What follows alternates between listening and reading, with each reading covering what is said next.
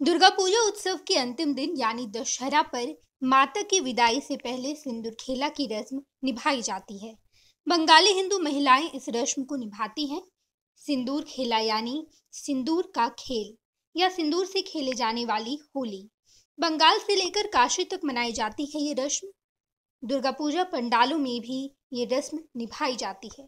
इसे सौभाग्य का प्रतीक भी माना जाता है। इसके अलावा मान्यता ये भी है कि सिंदूर खेला से पति की आयु भी बढ़ती है। काशी के विद्वान और ज्योतिषाचार्यों के मुताबिक बंगाली समाज से लोग माता की विदाई से पहले वो सभी रस्में निभाते हैं, जो बेटी की विदाई के वक्त मायके में निभाया जाता है। इसी की तरह बंगाली महिलाएँ देवी को सिंदूर चढ़ाती हैं। उसके बाद दही, पेड़ा और जल अर्पण करती हैं। माता को चढ़ाया गया, यही सिंदूर महिलाएँ खुद लगाती हैं।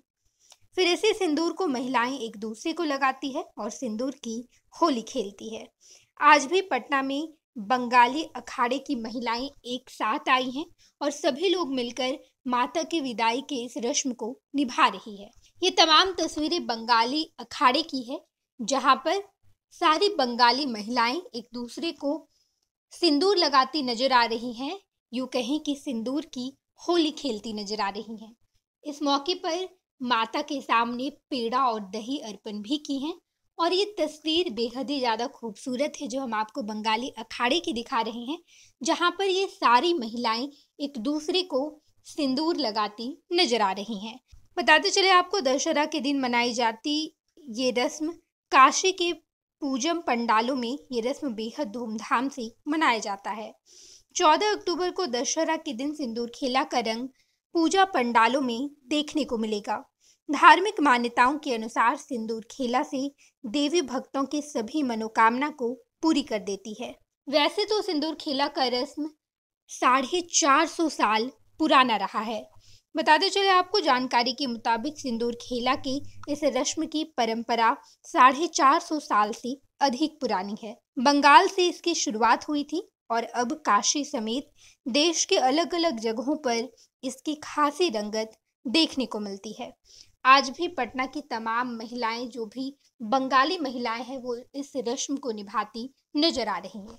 ये तमाम जो खूबसूरत तस्वीरें हैं, आप इस तस्वीर को देखिए, जो देखने में बेहद ही ज़्यादा खूबसूरत लग रहा है और ये तमाम महिलाएँ अपने अपने घर से निकलकर इस पंडाल के पास बंगाली अखाड़े में सिंदूर खेला के रस्म को मना रही है। क्या आप अपनी माता पिता बनने का इंतज़ार कर रहे हैं? ओएसएस फर्टिलिटी ने लगभग नब्बे हज़ार जोड़ों के जीवन में खुशियाँ भर दी हैं। आज ही eight nine two nine seven double five one zero one आरोप कॉल करें। ओएसएस फर्टिलिटी के कम लागत वाले आईवीएफ उपचार की सहायता ऐसी अपना सपना पूरा करें और सभी को खुशखबरी दें। ये लो मुँह मीठा करो। आज मैंने अपना जॉब छोड़ दिया। अब हम पूर्णिया वापस जाएँगे। जॉब छोड़ दिया है? मतलब? ये घर कैसे चलेगा? हम करेंगे क्या? और माँ बाबूजी क्या बोलेंगे?